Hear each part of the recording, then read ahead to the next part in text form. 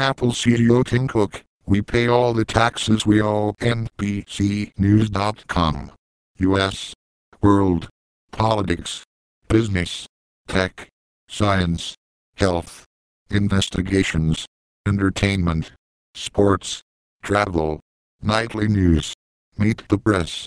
Dateline. Today. MSNBC. News.com. MSN. NBC News. Business. Follow us. Facebook. Twitter. Showing me. Economy. Markets. Consumer news. Autos. Real estate. Taxes. Energy.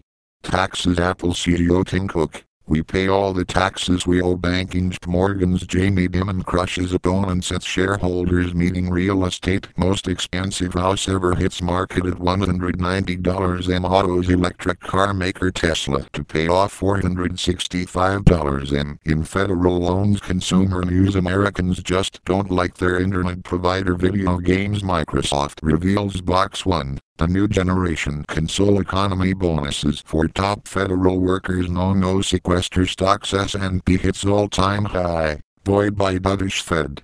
Comments Autos 100,000 electric cars sold, but expectations lag real estate economy is on the move again, and so are Americans business. Apple saved billions in taxes by using Irish subsidiaries, report says Environment Monsanto Bayer seek answers to bee losses aviation aboard revamped Dreamliner. Little mention of battery fire stocks stocks close lower. Worry that Fed may trim bond purchase program Yahoo can Yahoo avoid screwing up Tumblr and still make money. Real estate vacation home sales sizzle. Rentals book up economy The Fed's been good for Wall Street, not so much for Main Street food takeout sites Grubhub and Seamless will merge autos Detroit roars back after years of quality issues agriculture trouble in the farm. We face a grim future. Advertise vertical bracket ad choices. Advertise vertical bracket ad choices. Taxes. Apple CEO Tim Cook we pay all the taxes we owe. NBC Newswire Services. Facebook share on Facebook. Twitter. LinkedIn. Google Plus. Email. Two hours ago. Reuters.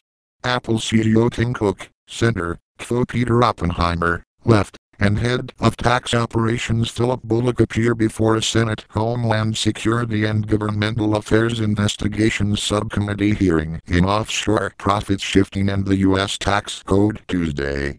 Apple CEO Tim Cook is disputing assertions by a Senate panel that the company avoids billions of dollars in U.S. taxes by shifting profits to foreign affiliates.